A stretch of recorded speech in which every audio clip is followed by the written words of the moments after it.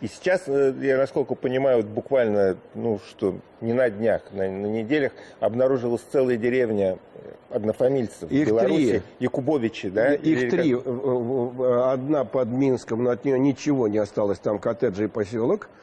Одна в Брестской области, я там не был. А одна, вот где я был, это на границе с Литвой. Мгм. Очаровательная деревня. Осталось, правда, всего 60 жителей.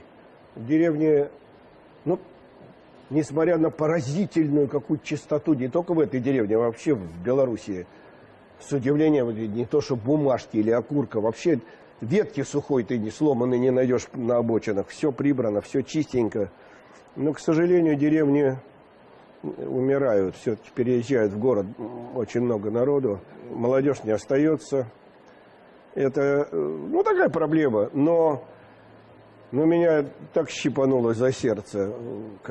Понимаешь, я э, не буду тебе врать, я до сих пор, несмотря на два высших образования, я до сих пор не понимаю, как работает телевидение.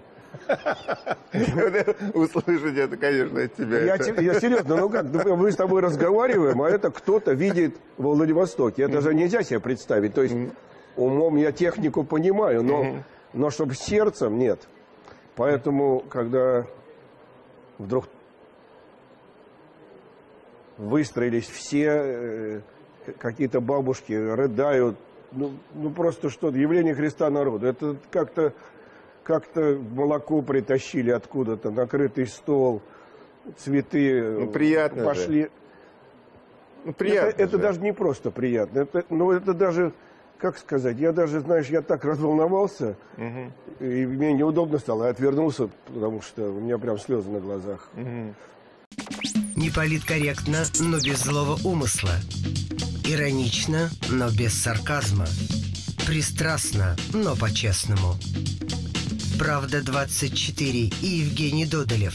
С понедельника по четверг в 19.30 на телеканале «Москва-24».